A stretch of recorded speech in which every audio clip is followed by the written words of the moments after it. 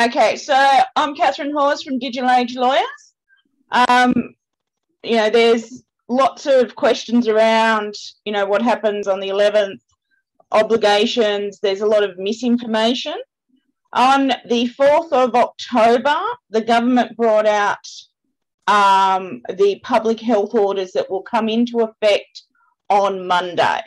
So, as of Monday, there is no LGAs of concern, there is no stay at home orders. It's refocused into um, whether or not people are vaccinated and what that means for business owners and you know the wider public there are still um, premise. So when you go through the public health order, uh, first off, there is no such thing as compulsory vaccination. Okay, so um, you know, but there is consequences or there are limitations. Um, and again, I'll stress that these are short term. I would be very surprised if we are talking about the same limitations, and I'm not saying there won't be any, you know, this time next year. Um, so the public health order goes through and it, it has generalized category of business of, of premises. So basically, if you are in a premises, so Kylie, in terms of you, it's just like when you go into the shopping arcade, you've got a QR code for the arcade, then you have a QR code for each business. So my suggestion would be that you do have your own QR code um, set up. Now, as I understand it, the QR code will also link to a person's vaccination status. You are not to allow an unvaccinated person into your premises. All right, so Until that when? is that is the the go until there is a next public health order. So it's not saying you will never be able to, but at 70%, um, there is still a large portion of the population who is still vulnerable. Um, and there is a large portion who may not be able to get vaccinated, um, as opposed to those that can and choose not to. So there's a difference there. Hmm. Under the current public health order, there's no exemption for medical for not being back. You are just still at a stay at home order if you are not. And vaxed is not one, vaxed is both done and immunity kicked in. Okay, so really important that people understand that all of those things around, you know, particularly around LGAs of concern, that all goes on Monday. Right, so on Monday, all of that goes out the window. All of the construction stuff goes out the window on Monday um, about, you know, one vax or rapid anti rapid antigen testing is not a substitute for vaccination. This is very clear. Vaxed, not vaxed. If you're vaxed, this is what you can do. If you're not vaxed, this is what you can do. Okay, and basically, if you are not va- vaxed, it is very similar to the stay at home orders we have been. So, gyms, childcare, like they've all got to have this, everybody really has to have their staff on premises vaxed. And if you are doing face to face client, they need to be vaxed as well. Um, if it's your own business, then you know the choice will be yours. Um, but you know, you, in a sense, if you allow them onto your business premises unvaxxed, it is a $5,000 fine and it is a $1,000 fine. Now, in saying that, you know, lots of business owners have asked me, well, you know, what, are we becoming the police? No, okay, that that's not what's being asked either. Okay, you have a right, you do have an obligation to ask what the public health order says is reasonable steps.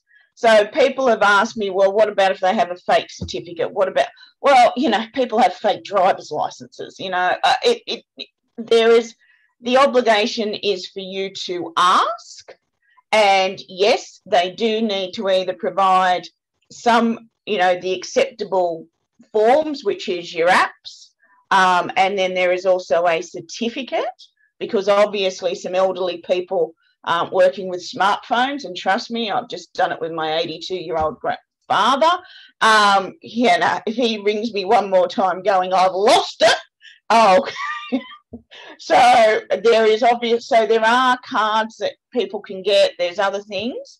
Um, but it's really important that you realize also within the public health order, and I'll actually read it out because I think this is what people um, need to understand is it actually says in the public health order the following.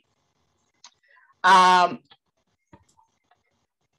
it states at 2.23, um, and yes, it is rather scary that I actually know where things are in this now, um, because I've, it says working from home. So an employer must, so there is still the must, uh, you cannot force people at present back into an office. An employer must allow an employee who is fully vaccinated person to work in the employee's place of residence if it is reasonably practical to do so. And I'll come back to those words in a minute. Hmm. The other one is an employee who is not fully vaccinated person must not work at a place other than their employee's place of residence unless it is not reasonably practical to work at the place of residence. So, the first thing is if they have been working at home, then it's reasonably practical. Okay, that's the first thing. Um, the second thing for so I've actually been contacted by um, you know a, a, an essential you know business where they can't work at home. It's it's a tanning factory. Okay, so it's not like you can tan your leather at home in your backyard. Like it's a. Mm-hmm. So their question was to me, they've got one person who is not vaxed. Now, my suggestion to them was, well, you need to then go through like a risk analysis. If you allow this person on, what are the risks? So, does that mean the rest of your workforce goes home because of it? Um, so, or do you continue to stand that person?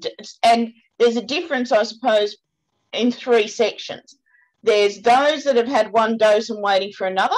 You might classify them differently if it is reasonably practical. So I'm talking they have not been working at home. Okay.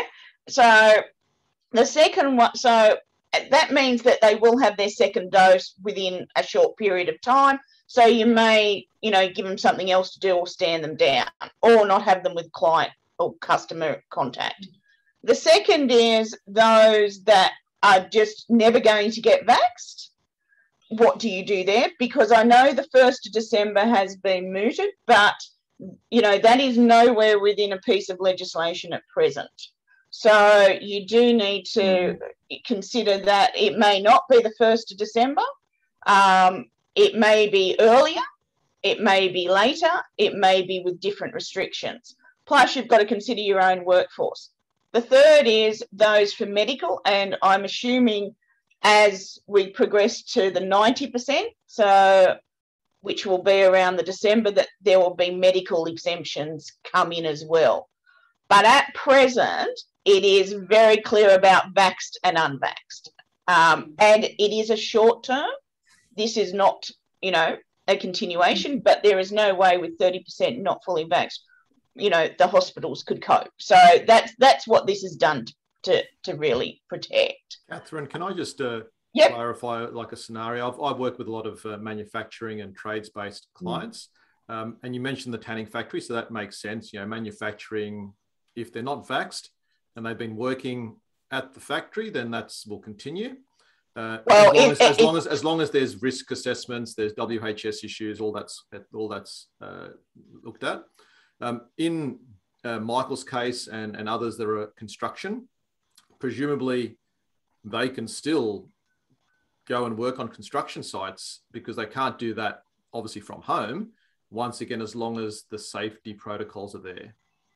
Well, but that also depends whether or not the site owner will allow it as well. Yeah. Yeah. Okay, so th- there's there's a few nuances that mm-hmm. haven't played out, which you know, quite frankly, will probably lead to a few more tweaks in this between now and and you know, I would say the 25th of October when we're mooted to get to the 80%. Yeah. Um, and in, but you know, at present, it, it's pretty clear about Baxter unless it is reasonably practical. So mm-hmm. in Michael's case, if it's reasonably practical to send out another employee who is double vaxxed, well, then that's your answer. Yeah. Okay, because the other thing is that you now also need to weigh up the fact that yes, you do have to wear masks um, within the office, um, and that's continued. There, it's also the fact. So for us, we're insisting that any clients who want face to face must be double vaxxed. Um, we are also part of you know a, a wider group, so there's things about um, ensuring that staff, you know, maintain certain distances, all of that, lifts, you know, it, and that's why you know it may be that there's rosters put in for some of the larger companies of when people are in and out of the office. Um, but, you know, I think that the thing is that within these public health orders, I know they've mooted that there's no more lockdowns, but it actually allows for um, stay at home orders to come into effect on the um, health ministers say so so what I'm presuming is they're getting ready for spikes. So it may be, let's say Parramatta has a spike, Parramatta gets locked down for seven days. They've already got the orders in place. They don't need to bring out a public a new public health order. There is already, and that shuts down all businesses in that area except for essential instantly. So um, I think it's also important that we don't get into the mindset that there there won't be in the future um, particularly if there's spikes in areas, lockdowns. Um, I don't think they'll probably be for the, you know, the two weeks plus two months um, or three months that we've had. But, um, you know, they are definitely there. And that is what will be used, I think, in regional and areas next week to continue on some of those where there are high spikes. So you know, in terms of a business owner, I'll send around that they have put out a COVID fact sheet that I think is actually quite good and, and sensible.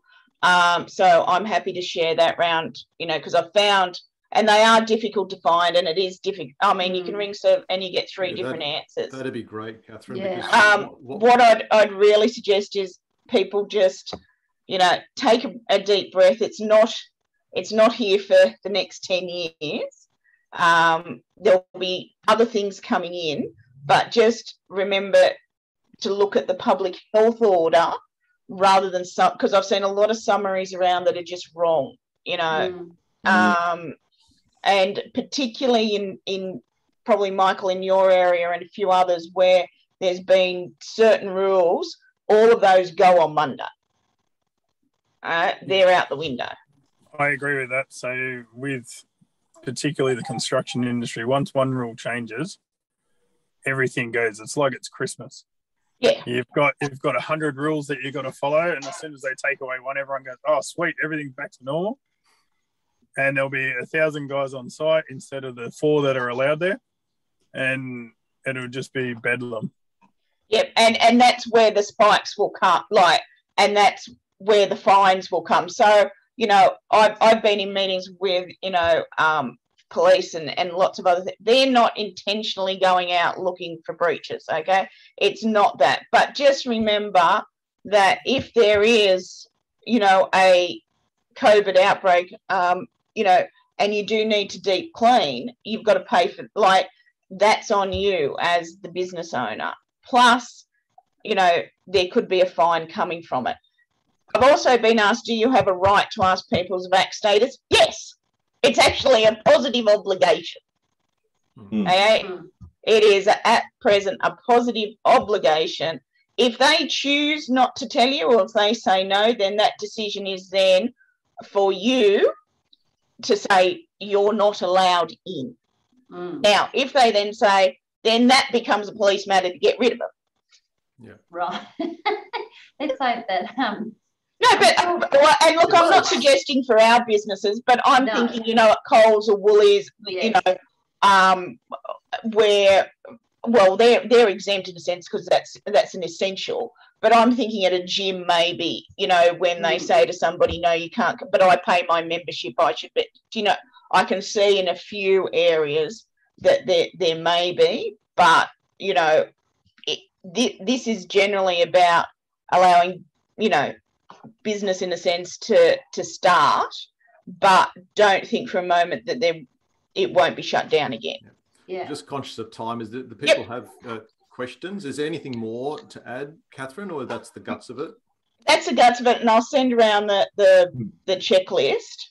Um, but mm. it is it is definitely you know something that you do have a public health order behind you.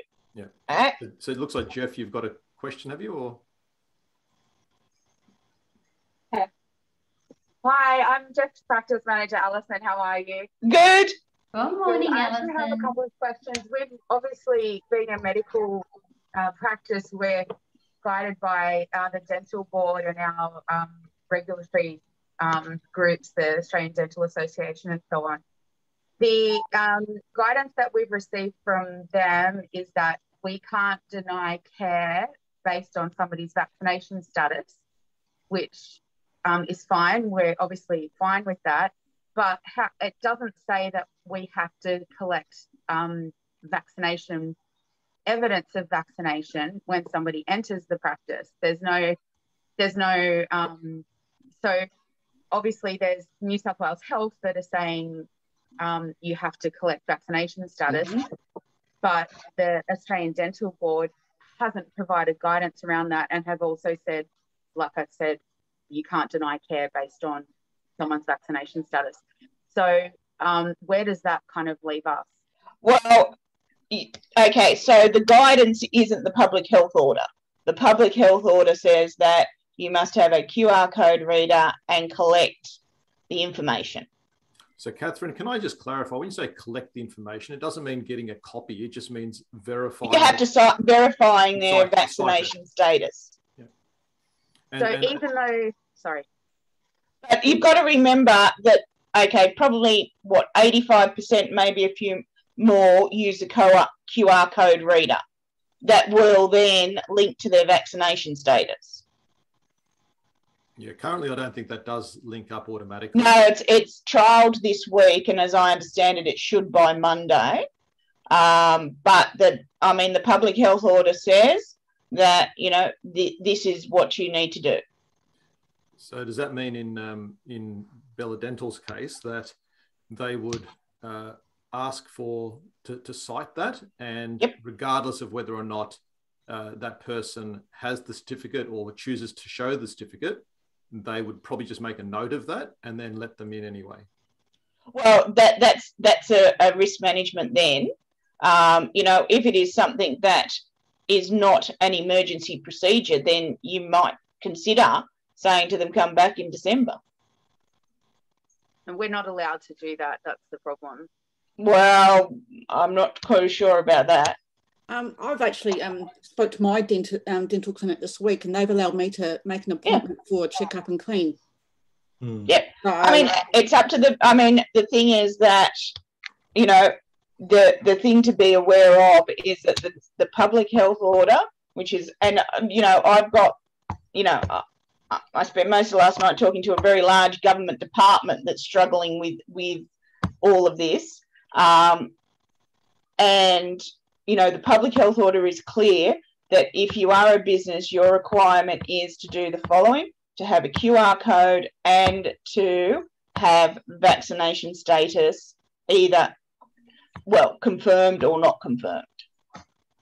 Now, Jeff, in your case, then what you do with that becomes down to your own risk management and COVID safe plan. Thank you. Thanks for that. Yeah, so look, there's no easy answers to this, but what I do say is that remember this is this is short term until we get to 90%. Like you do you know what I mean? So mm. I think it's about doing the best we can to ensure that you know, that the public health system isn't overrun. Yeah. All right. Any other questions before I finish the recording?